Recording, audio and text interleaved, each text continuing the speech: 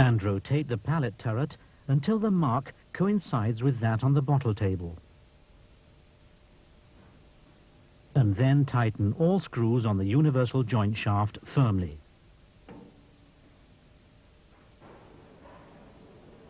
In order to set the transfer of the label to the bottle, we determine the center of the label on a gripper segment.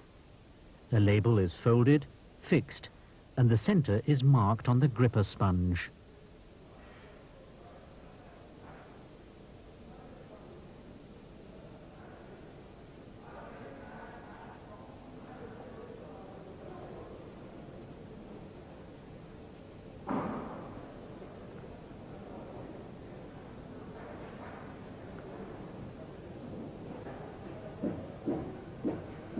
In order to transfer the center of the label to the center of the bottle, the machine is inched to the transfer axis.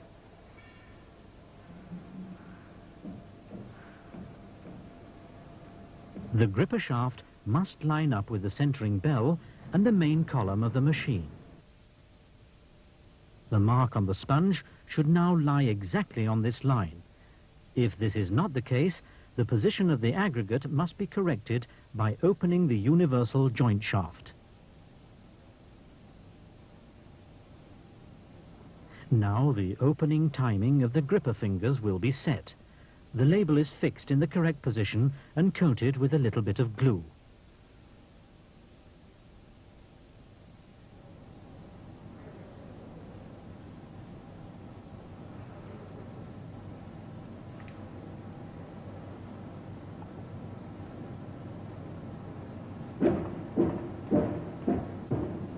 The finger should open in the moment when approximately one-third of the label surface is pressed on the bottle. If this is not the case, the opening cam must be adjusted accordingly. Be careful that you do not shift the closing cam.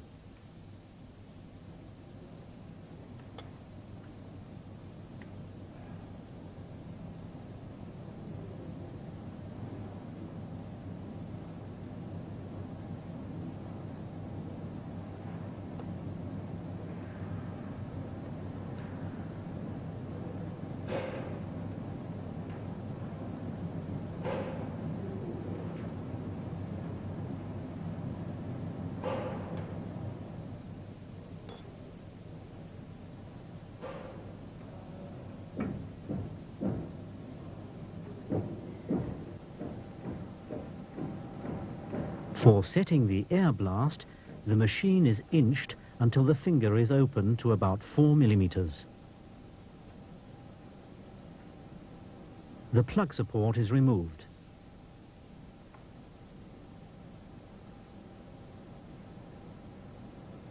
The opening of the air channel must be in the center of the support.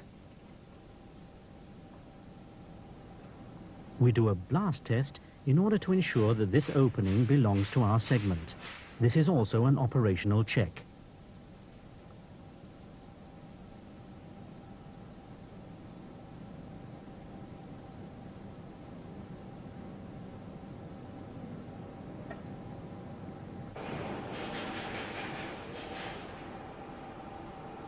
Now we do a complete check in order to ensure that another cam was not accidentally shifted during the many adjustments.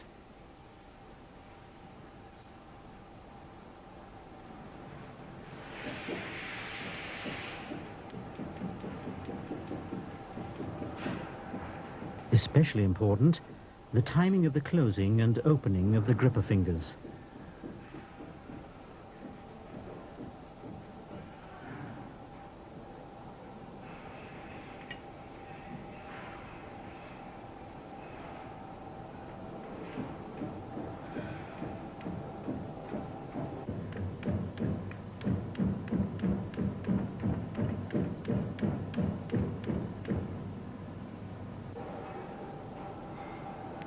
Body gripper is now set.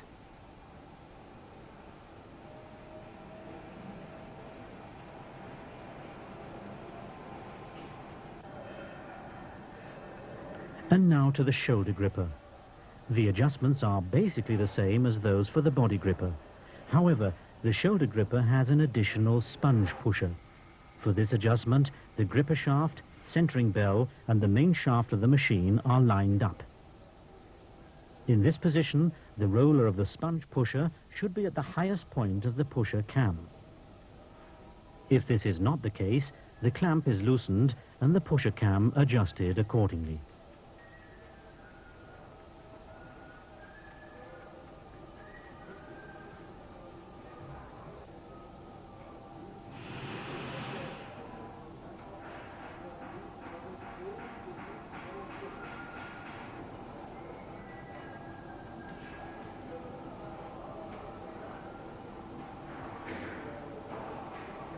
The timing of the opening of the fingers is set just like on the body gripper cylinder.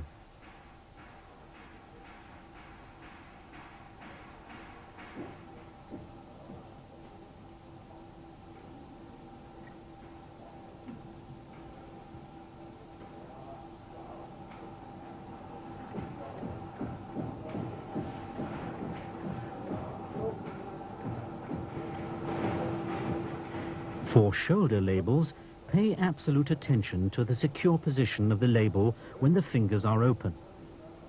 The rule that one-third of the label surface must be pressed on before opening is true here as well.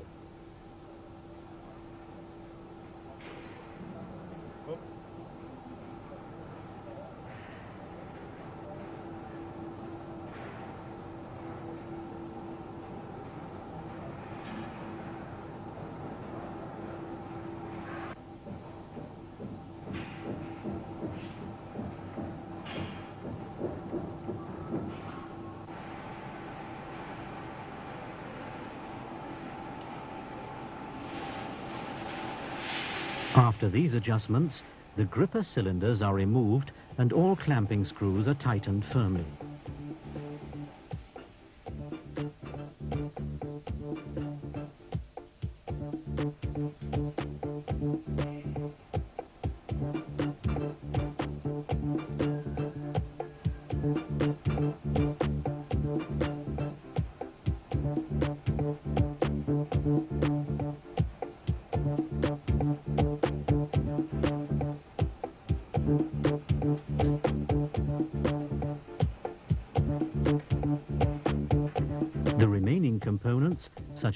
Blast, lubrication line and optional label blasting, are now remounted for the trial run.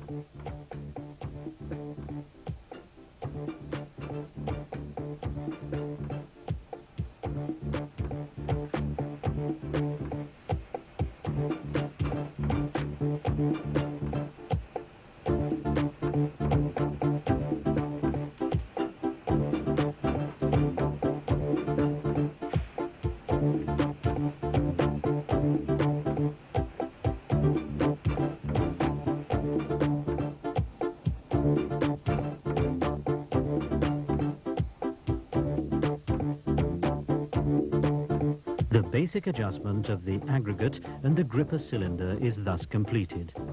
We turn to the third part, which covers the operation check using glue. See you in part three.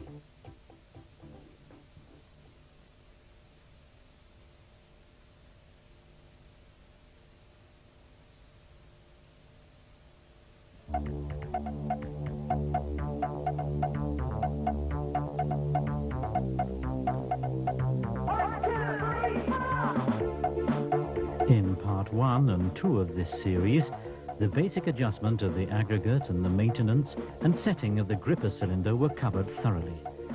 We will now handle the operational check using glue. We will continue from the point where we stopped in part 2. This means we complete the aggregate with all protective assemblies. The first thing to check during the test run is the gluing. In the zero position, there must not be any glue film visible on the roller. If, however, a glue film does exist, we correct the setting of the scraper using the eccentric.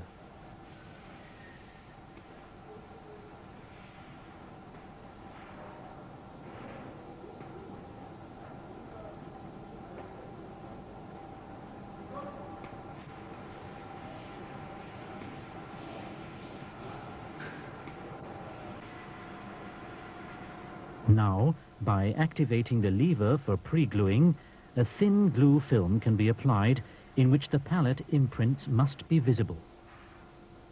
This imprint must correspond to the shape of the pallet and be absolutely even.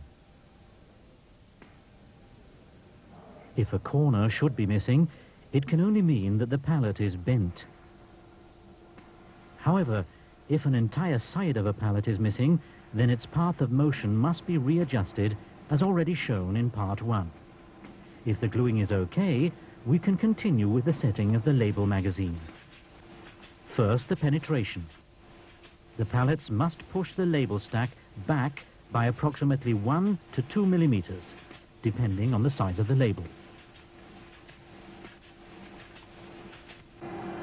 This adjustment can be changed at two different points. First, the basic setting of the whole label magazine carrier using this adjustment feature. This affects all label magazines. Second, the alignment of the magazines of one dressing with respect to one another can be done using the fastening screws of each magazine.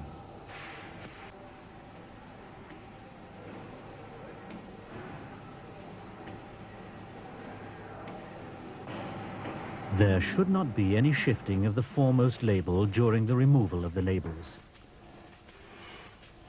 One of the causes for this error could be a slanted label magazine, which can be checked easily by simply measuring parallelism.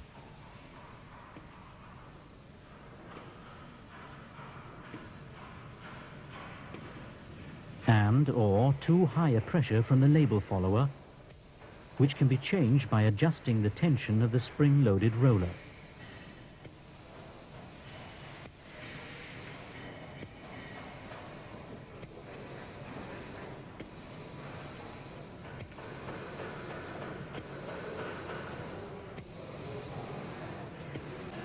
Here, a proper removal. Now let's check if the label is placed neatly on the pallet. We take a pallet out immediately after label removal. The label should protrude over the pallet edge by 0.5 millimeters everywhere, thereby preventing the spreading of glue.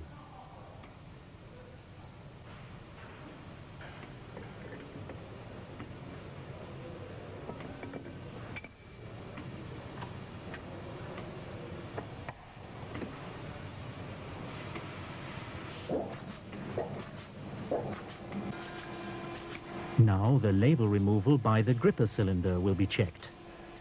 Please pay attention that all gripper segments remove the label reliably.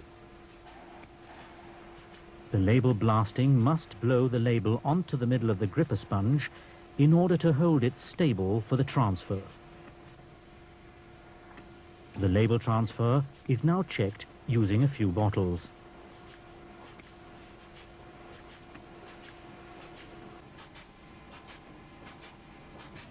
It is done before the brushing on step in order to exclude possible impairment.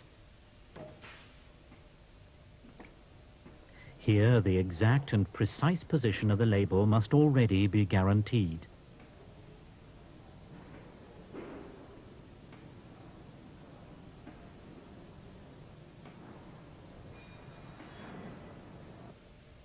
In order to prevent the brushes from shifting the labels, the bottle with the label must run into the brushing on station centered.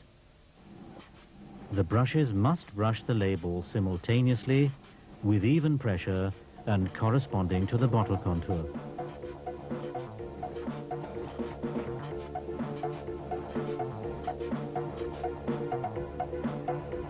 The final check is made at discharge.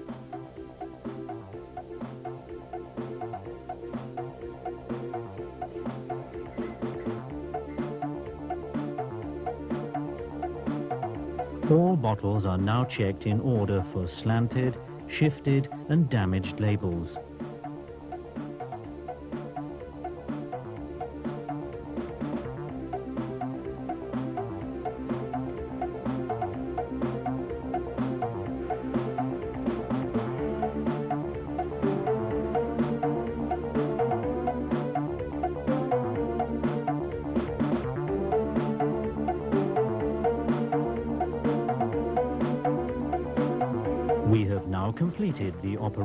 Check using glue and we'll continue on to the next and final part, troubleshooting.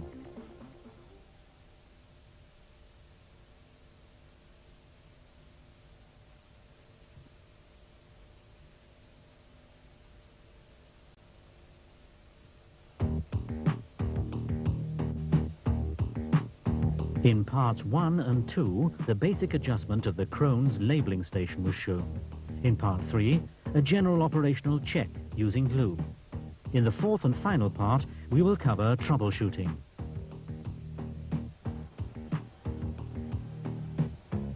The tips and tricks we want to show are based on the knowledge gained from the first three parts.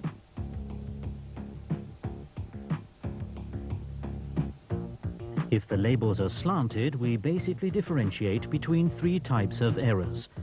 The repeated error, the continuous one, and the random error. A repeated error is when the interval between the errors, as here on every sixth bottle, is identical to the pitch of the gripper, pallet turret, or discharge star wheel. It can be traced to this part of the machine. When the machine is stopped, the faulty segment can be determined by counting back to the star wheel or aggregate. If the label is glued on only one side, the path of motion of the pallet should be checked.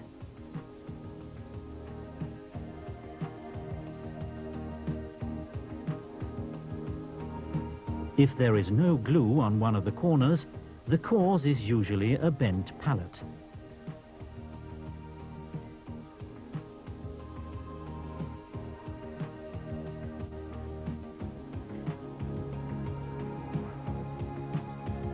However, if a gripper segment is involved, it can be the condition and adjustment of the anvil bar, contaminated gripper fingers or their adjustment, a sponge which is badly worn or whose shape differs from that of the others, and in case of grippers with pushers, a broken spring, for example. The sponge would then be strongly contaminated with glue. If repeated errors occur at half the gripper pitch after the universal joint shaft has been exchanged, the alignment of the upper and lower universal joints of the cardan should be checked. This is also indicated by markings.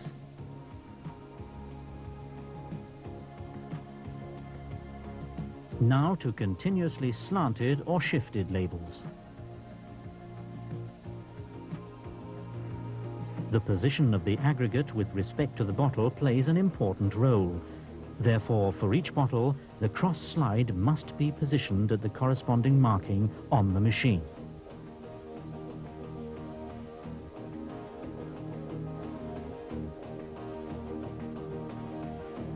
Frequently, an error source for slanted labels is too much glue. The labels can then be shifted in the brushing on station. Easy to check at the discharge, the label must not float, as shown here. A slanted label magazine is most easily detected by the label straight on pallet check.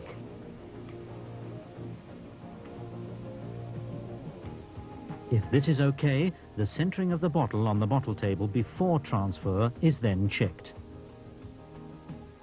The bottle must not move when the centering bell is lifted.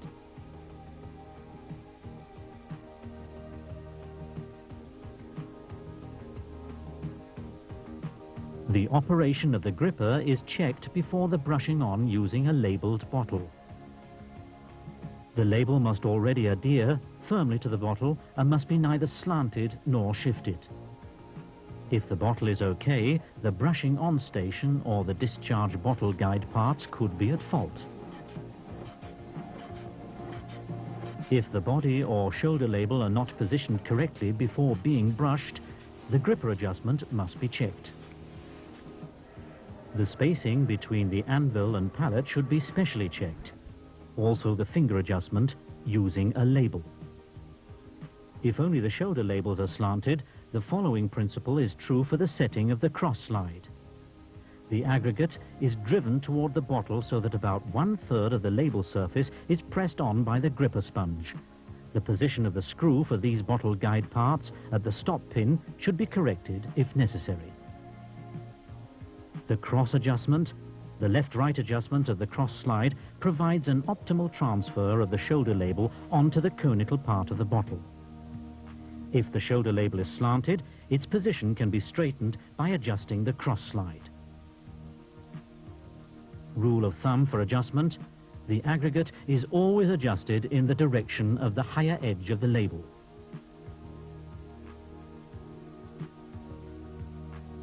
So, if the label is higher on the left, the cross slide is moved to the left.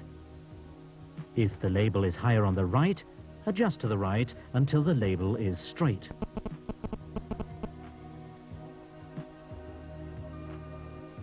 If the universal joint shaft develops a little play after longer operation, and therefore the label is slanted, this can also be corrected by the cross slide. The new position must then be registered in the marking table.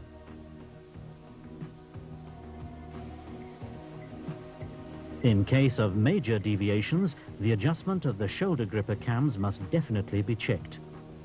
The removal from the pallet, the center position of the sponge pusher, the transfer of the label onto the bottle, the air blast, which is supposed to blow the label away from the anvil and not blow it onto the bottle. From the slanted labels onto the damaged ones. The position of the damage on the label usually reveals the source of the problems. The position can be identical to that of the label prongs, gripper fingers, or bottle guide components. If the label prongs are the cause, first check the adjustment of the label guides with respect to the label size. Careful about possibly dried on glue residues. The prongs must be centered in the pallet notches so that the glue will not be transferred. If the pressure of the tension roller is too large, the labels will be pressed too strongly against the prongs. If the pallet's penetration is too small, the label is not pressed free of the prong's back edge. In both cases, the label is damaged during removal. For sensitive labels, the shape of the prongs may have to be adapted in the direction of removal. Here you have to file. Prefabricated prongs are available at Krones and may only have to be optimized. Otherwise, they are shaped from an unfinished piece. The prong must slant upward in the operating direction. The height of the prong depends on the sensitivity of the label and is usually about 1 to 2 millimeters. The filed prongs must then be polished.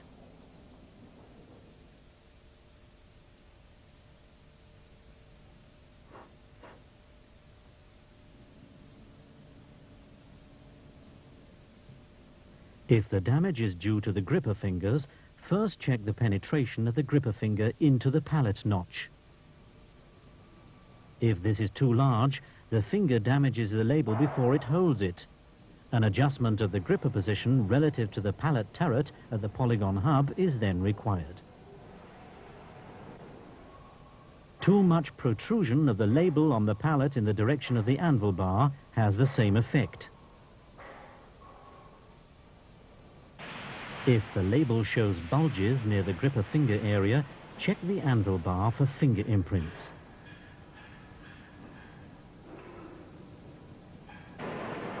The discharge star wheel is also often a source of label damage.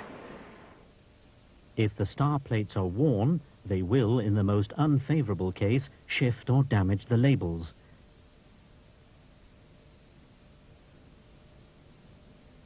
The same is true for worn down wear strips.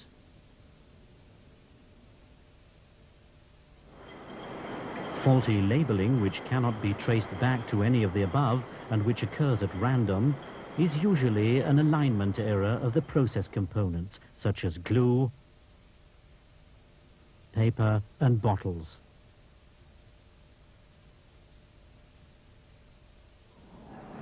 The glue, as the most important factor, must not be applied too thickly, since otherwise the label floats and it can lead to excessive contamination of the machine. Too little glue does not hold the label on the bottle properly, as seen here on the poor glue pattern. After drying, there is the danger that the label will partially or completely loosen itself. The temperature of the glue is also important for correct adhesion. It can be ascertained from the corresponding specification sheet of the producers. Too low a glue temperature decreases the viscosity and leads to poor glue application on the label.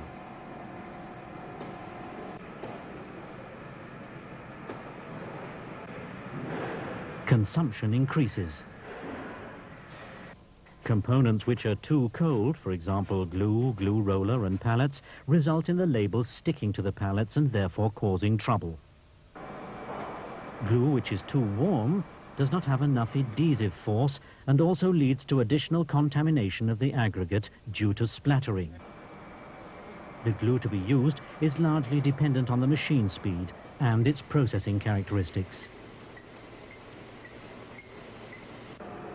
The quality of the glue should be such that it can be applied thinly to the roller and must not splatter. It must be pliable and easy to handle by its processing components. If the temperature and quantity of the glue is correct, the label should adhere firmly to the bottle at discharge. If the label floats, the drying time is too long or the water absorption of the paper too low. The adhesive force can also be reduced by the following.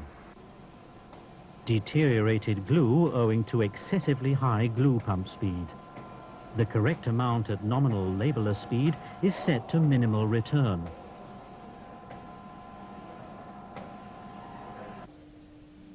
Frost damage if the temperature falls below 10 degrees centigrade, and old age due to faulty and long storage. Once again, the exact details can be read off the specification sheet. Paper, our next factor, must combine well with the glue.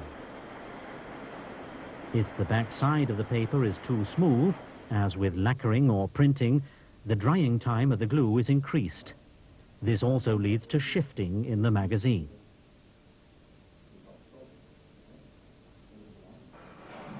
Highly absorbent labels react strongly to humidity and therefore deform when stored incorrectly. Recommended storage conditions are lying flat at about 60% humidity. The labels should be stored at least eight days before being used.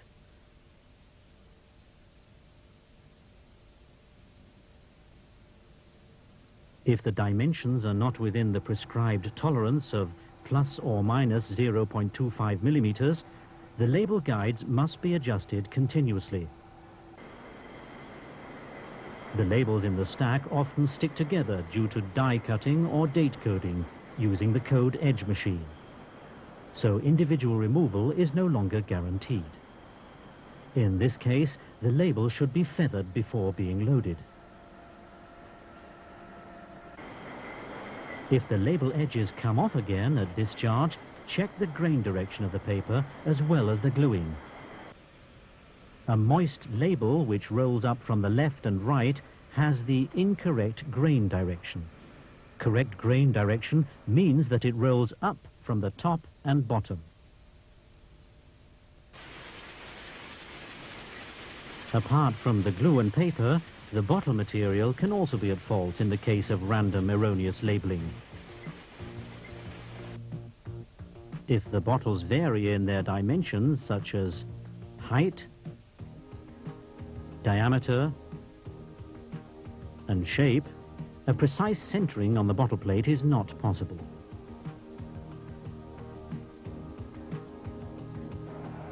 Too much surface coating, detectable by the bluish glimmer, results in a too smooth surface on which the glue cannot stick properly, just like contamination from conveyor lubricants or aluminium residues from the bottle washer. and the result is badly sticking labels after drying. Now we have covered the most frequently occurring causes of faulty labelling, but we've only touched the tip of the iceberg. To give you further assistance, Krones offers customer-specific and practice-oriented seminars, where we would be most happy to welcome you. Your Krones AG.